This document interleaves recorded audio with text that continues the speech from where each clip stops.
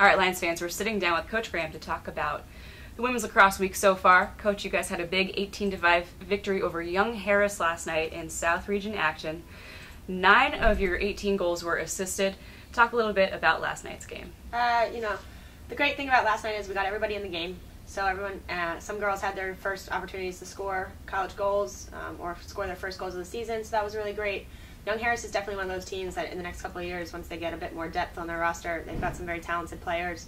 Um, so they're a team to look out for. But uh, we were able to take care of them, and, and really kind of now we're getting to focus on our upcoming game tomorrow against two-time defending national champs LIU Post. Yeah, let's focus now on tomorrow night's game against LIU Post.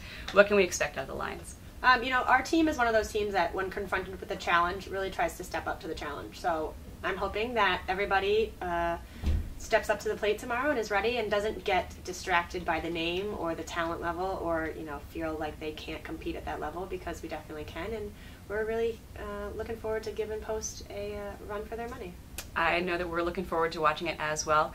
Your Adult Lions will take on LIU Post tomorrow at 4 p.m. at home. Good luck, Coach. Thanks. Go Lions.